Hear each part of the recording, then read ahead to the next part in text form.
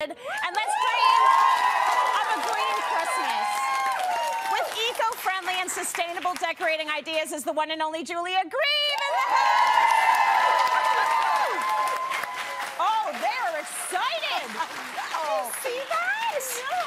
Give me hugs. And let's do a little switcheroo. Oh, we'll do a little See? dance, dance, We do a dance. little There we go. dance. There we go. So it's always about being green, but this time of year in particular, like we can get a little wasteful this time of year, can't we? It does. I'm not here to Grinch anybody out because I know it's the most wonderful time of the year, but it is the most wasteful. Yeah. Between holiday wrapping, gifts, gift returns, all that stuff adds up. Mm. It You know, the average Canadian household is going to increase their waste by close to 30% just on the holiday week alone. Yeah. So, that's okay. We've got some great ideas to help you reduce your own waste in your own home. We love that and we love you for it. And I want to talk about ornaments. I know, right? So we're going to talk about ornaments and you're using food for your ornaments. Right? This is zero waste situation. Exactly. This is a zero waste thing. So like, Yeah. I like to sometimes at the holidays sort of channel the olden days and just remember back in the 1800s, they were not running to the dollar store picking up plastic, throwing it on their trees. No. No, they, They were didn't not. do it. No, no, No. they were using walnuts. Yes. Right? this is what they use. This is what they use, and this, This is what you can still use today. Yes. And it looks so beautiful. So dried citrus,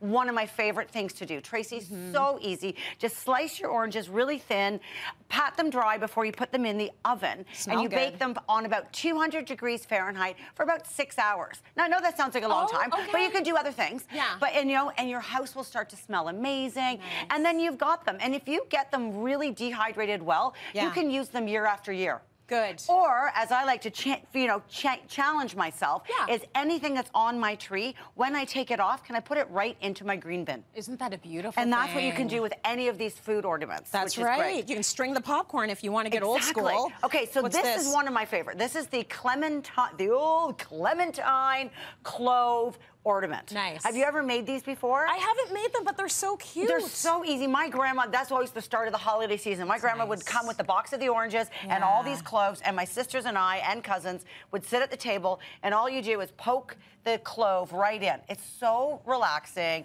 You make your own designs. You just sit around the table talking.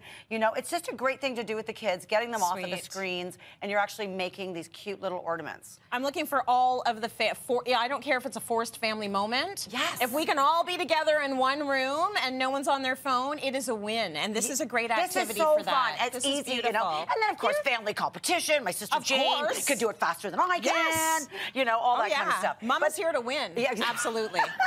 the kids know this, okay? Yes. Next, we're going to upcycle uh, using some items we have around the house. Right? So taking a look at things that you already have in your home that are, you know, maybe have used up their original use, Right. looking maybe in your recycling bin, all Yeah. these kind of things. One of the things I collect a lot are books. I love old books. I'm the first one to grab it in a thrift store. Nice. And it doesn't even matter if it's kind of like fallen apart because I love the cover, I pick the colors. So what I can do with them is you I like to call this the good old book balls. Book ball. Book balls.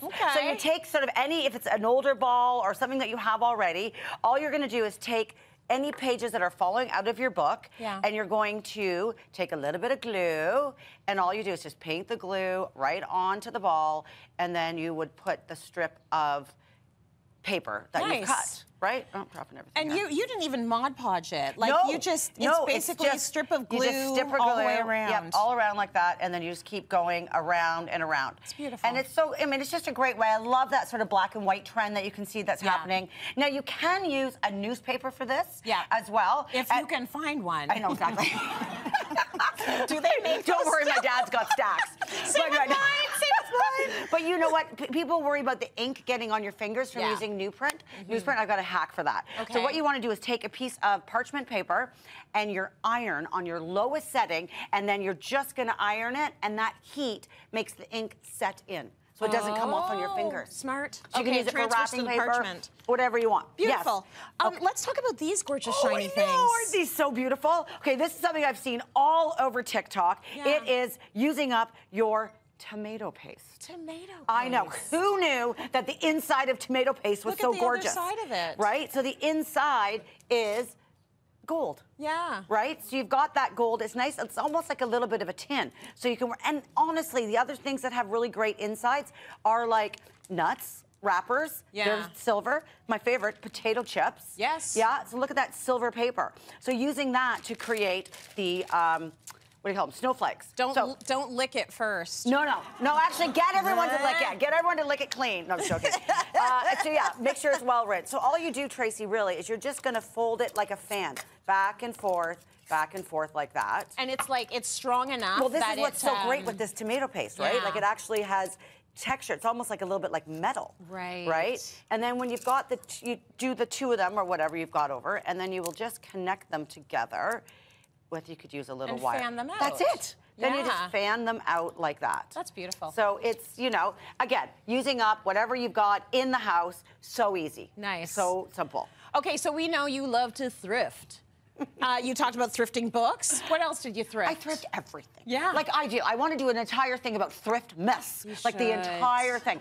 But I know, right? you I should. love We it. can do it. But I people always laugh at me. So thrifting Christmas ornaments, honestly, is where you should start. Okay. There are so many things there. You don't need to buy new. Yeah. You can. And I always laugh. People don't believe that I actually do this. I do. This entire uh, with the vase and all these little guys in here. Can you see the price tag there? What does it say? Three Three ninety nine. I did it. This is it. I bought my them. price But I love I the love that. colors of them, right? Yeah. So you can easily thrift those up. Another thing, if you don't want to thrift, you can think of swapping. Yes. Right? Like I here's my sister's ornaments. I take hers in, she takes mine. That's beautiful. Each year we go back and forth. Yes. So it works really, really well. Or another one is the balloons. Have you seen this all over? Yes. So you take I know old- you don't love balloons. I don't. So you use them over and over and over I again. I use them over and over again. Yeah. If I use balloons, I will save them, and then this is such a great little activity. You put them over your balls, and then you can Just completely. like a little bathing cap. I know, right? And then you can just totally change the color and the vibe. Look at that. Right? You're so so smart. the balloons a second life. So it's an easy one like that. I'll just throw in my little tip: keep your ornaments forever. I put up the same decorations every year, even though everybody says this is on trend. I don't care. I'm using the stuff I have in my basement under the stairs, There and I go. will have them forever. Jules, thank you so much. Great tips.